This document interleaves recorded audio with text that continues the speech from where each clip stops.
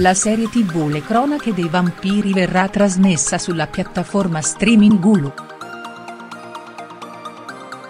La serie televisiva The Vampire Chronicles verrà trasmessa sulla piattaforma streaming Hulu, i diritti della produzione dello show, tratto dai romanzi della scrittrice Anne Rice, sono stati acquisiti da Paramount Television e Anonymous Content.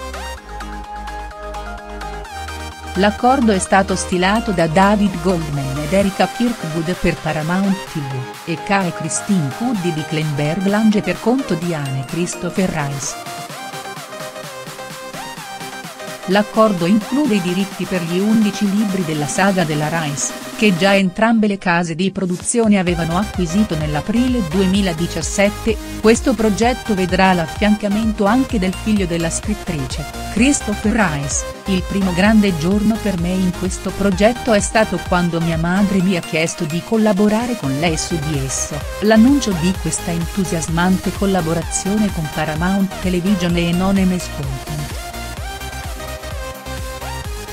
Dunque Rice Jr. sarà produttore esecutivo della serie insieme alla madre Anne, a David Canter e a Steve Golin, inoltre, dopo l'abbandono da parte di Brian Fuller, ideatore di Hannibal, a cui era stato affidato lo script dello show, la stesura del pilot sarà presa in carico da Christopher Rice.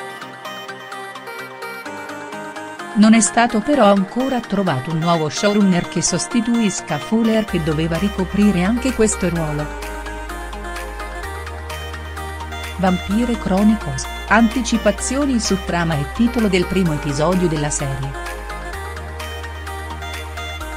Finalmente, dopo molti mesi passati dall'annuncio dell'acquisizione dei diritti sui libri della Rice, da parte della Paramount Television e Anonymous Content, il figlio di Anne Rice ha dato qualche anticipazione sul primo episodio della saga, il titolo potrebbe essere The Vampire Lestat.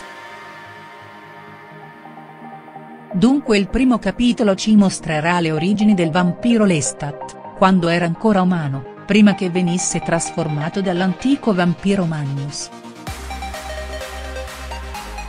Il giovane Lestat abitava nelle selvagge terre della Francia del XVIII secolo e il suo villaggio venne minacciato dai lupi che lui era riuscito a sconfiggere fino all'ultimo.